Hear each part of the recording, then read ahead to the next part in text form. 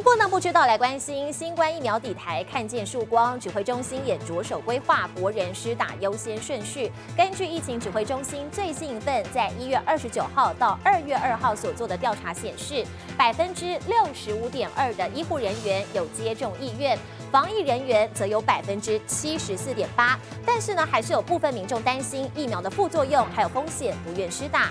对此，指挥官陈时中表示，目前不会强制，但后续还是要看疫情的变化。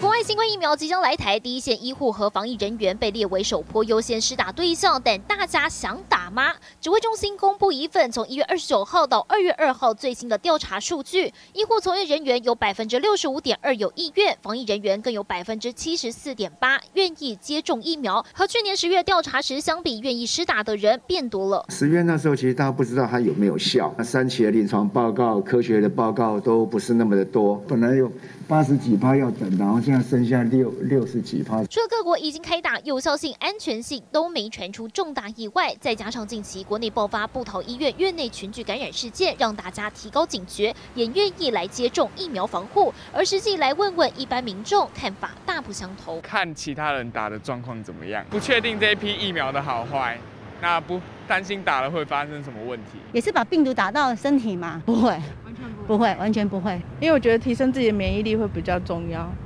对，因为你不知道打了之后它是一直变种。也还有两到三成医护防疫人员担心风险副作用的，没有接种意愿。外界也好奇，究竟疫苗到手，指挥中心会不会颁布强制令？疫苗都没有强制来打了哈，到目前，好，那是不是以后会有思考上的一些变化？哦，那当然又另当别论。暂时采自愿方式，但如果疫情升温，恐怕做修正。终于盼到疫苗来台，指挥中心接下来还得取得民众信心。张立敏加台报道。